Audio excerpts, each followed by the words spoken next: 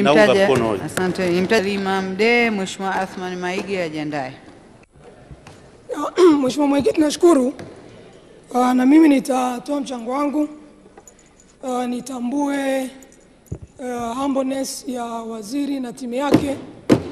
Hamna shida na mtu, mnasikiliza, lakini kama kawaida mimi nitashauri, na tukishauri tunaomba msichukulie personal. badala ya kujibu hoja mnafanya personal attacks. Tunashauri ah, la kwanza miradi ya barabara. Mheshimiwa Waziri, nimepitia randama lako ambayo imeainisha miradi mbalimbali mbali ambayo mnataka kuitekeleza. Nimefanya uchambuzi wa miradi 69 ya barabara 69 yenye urefu wa kilomita 11696.88 kiwango cha fedha ambacho kimetengwa kwa mwaka huu wa fedha kujenga barabara mlizoziainisha kwa mwaka huu wa fedha ni shilingi bilioni 434.66 miradi hii 69 sizungumzii miradi yote kiujumla wote Mheshimiwa Mwenyekiti, ukizungumzia gharama ya ujenzi wa kilomita moja ya lami kilomita moja ya lami ni kati ya bilioni moja ama bilioni mbili? Kwa, kwa shilingi bilioni 434 zilizotajwa inatuambia kama gharama za ujenzi ni bilioni moja kilomita moja. Maana yake katika kilomita elfu kumi na moja mia sita tisini na sita mlizoziainisha zitajengwa kilomita mia nne thelathini na nne tu. Kwa hii miradi sitini na tisa kama ni bilioni mbili mbili kwa kilomita moja ambayo ndio standard ya sasa hivi zitajengwa kilometa mia mbili kumi na saba.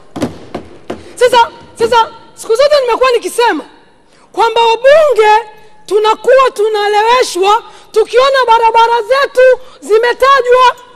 Lakini tukienda kuangalia unaweza ukakuta kuna hii barabara mashuhuri ya kibirashi.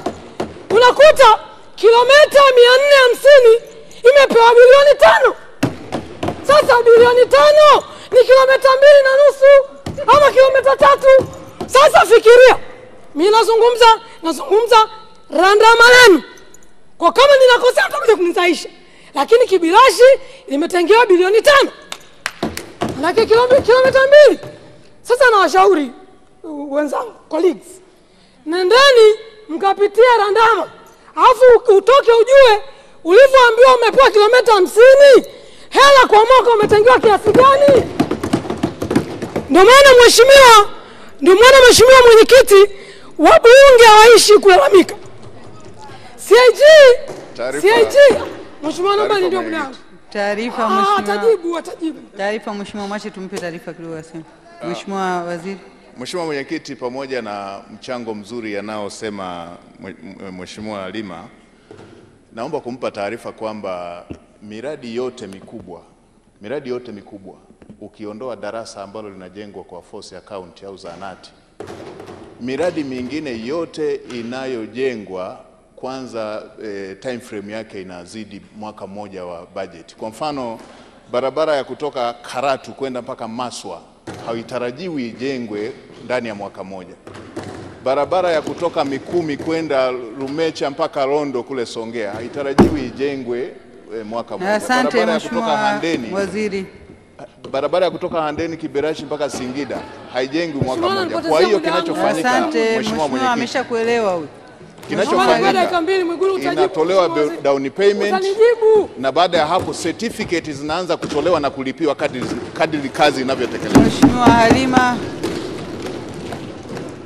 Mheshimiwa, kama waziri wa fedha anaona ni value for money kwa barabara moja kwa mwaka mmoja kujengwa kilomita mbili, nina mashaka.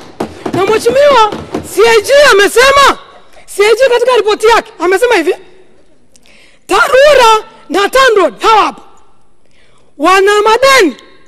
Kutokana kwanza tunakuwa na projects nyingi hatuna fedha za kulipa hatulipi wakandarasi kwa wakati. Matokeo yake ni nini? Tunaambiwa kutokana tu na madeni haya ya bilioni mia sita sabini na tatu.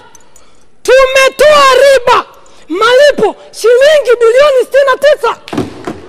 Sasa sasa mheshimiwa mheshimiwa mheshimiwa mwenyekiti common sense bilioni sitini na tisa. Unajenga kilomita sitini na tisa za, za, za, za, za, za barabara. Kama zamani ni bilioni moja. Kwa nilikuwa nasema mwenyekiti na uzuri kamati ya bunge ya budget. Mwenyekiti wangu yuko hapa mheshimiwa silo mwaka jana elfu mbili ishiri na mbili ishiri na tatu. Wakati tunatoa hotuba yetu ya mpango wa maendeleo ya taifa elfu mbili na ishiri na mbili na ishiri na tatu tulisema masuala yafuatayo mheshimiwa. Tufanye masuala yafuatayo. kwanza tulishauri barabara zijengwe chache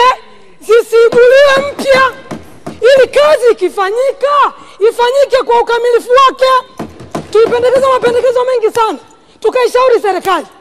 Hamsikilizi. Matokeo yake ni nini? Riba 70 billion for nothing. Hilo la kwanza. La pili bandari yetu. Naomba tuzungumza masuala machache. La kwanza hakuna mtu yeyote atakayepinga sekta binafsi isishirikiane na serikali kwenye uwekezaji. Haipo kwa sababu bila sekta binafsi mambo hayaendi. Lakini muhimu ni kujiuliza sekta binafsi hii ambayo tunataka kwenda kuichukua tumejifunza tulikotoka? Mheshimiwa mwenyekiti tulikuwa na TICS for 20 years. TICS ilikuwa ni mwiba sugu. Wabunge elfu mbili na nane hapa baada ya serikali kuingia chaka elfu mbili na nane tukaweka resolution kwamba ikavunje mkataba. Ilishindikana tiks imekuwa donda ndugu mpaka mkataba ulivyoisha Disemba juzi. Ndio maana leo Mheshimiwa Waziri unatueleza faida ya tiks kuanzia elfu mbili na kumi na mbili mpaka ishirini na moja. Hujatuambia. Toka elfu mbili na moja mpaka elfu mbili na kumi taifa limepata nini? Mimi nashauri nashauri, tasikiliza, mtaacha, tusikurupuke, tufanye tathmini ya kina, tulikosea wapi, tunaendaje, tusije tukajikuta, ndugu zangu, makosa ya TICS yanajirudia. Mmepewa dhamana, lakini nchi hii ni ya Watanzania. Nyie mmepita tu kwa whichever decision itakayofanyika, ifanyike tathmini ya kina, sio tayari tuna wawekezaji wetu kapuni, tunakuja hapa tuna wabunge tunachangia, wabunge tunatoa misuli hapa, alafu tunashindwa kuja kuisimamia serikali. Kwa mheshimiwa mwenyekiti, kwa hili la bandari, bandari ni usalama wa nchi, bandari ni roho ya nchi, bandari ndo future watoto wetu. Tusifanye makosa kukurupuka, kwa sababu tuliwaamini miaka ishirini Taarifa Mheshimiwa Mwenyekiti. Asante sana mheshimiwa. Taarifa, Mheshimiwa Mwenyekiti.